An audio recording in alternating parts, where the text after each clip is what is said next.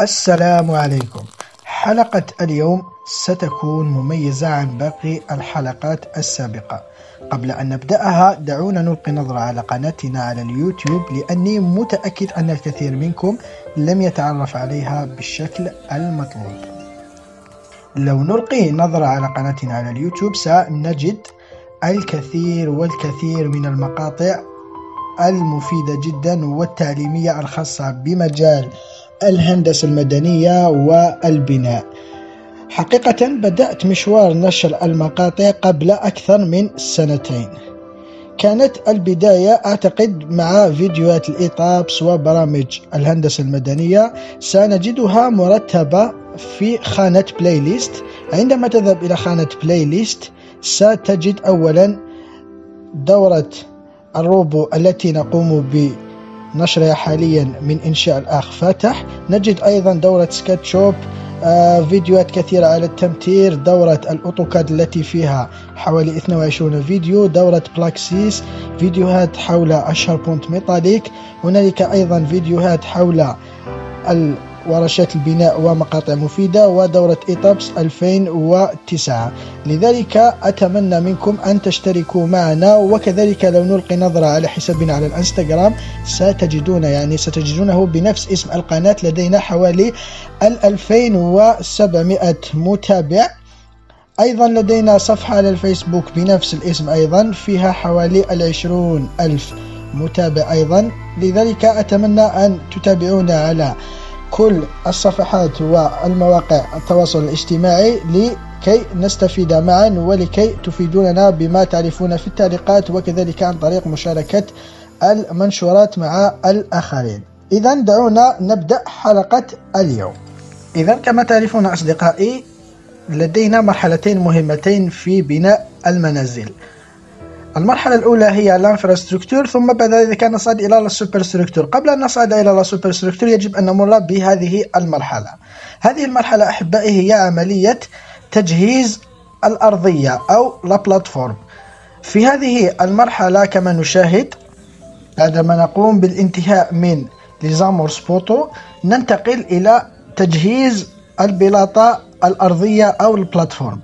أول مرحلة نقوم بها وهي الموضحة في هذا الشكل. أولا نقوم ببناء آه، coffrage perdu يعني الذي يعني نقوم ببنائه والصب مباشرة فوقه ثم يبقى هنالك الذي يوضح في الفيديو الذي نقوم ببنائه بواسطة الأجر. هنالك طبعا آه نوعين. هنالك ال coffrage العادي الذي نقوم باسترجاعه والذي يكون عادة بالخشب وهنالك ال coffrage perdu الذي لا يعني لا نحتاجه فيما بعد نقوم بالصب مباشرة عليه بعدما نقوم ببناء le coffrage perdu الذي يكون بحجم الكمرة أو ال longrine الخاصة بنا. هنا مثلا نقوم بوضعه 40 آه 35 عفوا في العرض و40 في الارتفاع. بعدما نقوم ببنائه نقوم بالانتقال إلى المرحلة التالية وهي التي كانت في بداية الفيديو. تسليح الكاميرات أو للونجرين كما كما شاهدتم في بداية الحلقة التسليح يكون عن طريق ربط يعني الكاميرات في الأعلى وبعد ذلك نقوم بإلقائها في الأرض. الذي هذا هذه المرحلة سنتعرف عليها في حلقة في الحلقة المقبلة. نقوم بإلقائها حتى تصل إلى هذا المستوى الموضح يعني حتى يعني تصل وتكون آه يعني متصلة مباشرة مع ال amorce poteau الذي نشاهده.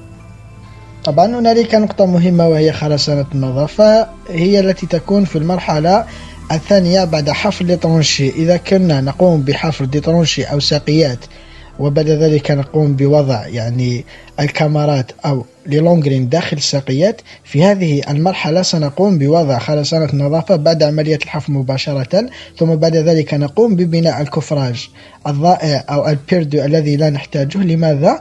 لأنه إذا قمنا بحفر ساقيات وقمنا بوضع ال coffrage الذي نسترجعه سنجد صعوبة كبيرة في استرجاعه خاصة إذا كانت ال tranchée بنفس الحجم. أما إذا كنا يعني نضع الكمرات أو les longrines فوق الأرض فهنا يمكننا استعمال ال coffrage العادي لكن في هذه المرحلة نقوم باستعمال ال coffrage perdu بعدما نقوم بالبناء نقوم بربط الكمرات كما هو موضح. نقوم بربطها في الأعلى. لماذا؟ لأن لكي تسهل علينا عملية الربط وكذلك لكي يعني نلقيها في يعني مستوى واحد وتكون niveau واحد يعني مستوى واحد مع بعضها البعض.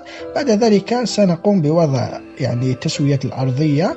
هنالك من يستعمل مبيدات الحشرات في يعني في مناطق الخليج العربي يستعملون مبيد الحشرات بعد ذلك يقوم باستعمال النايلون ثم يضعون الشبكة. هذه المراحل سنتعرف عليها في الحلقة المقبلة.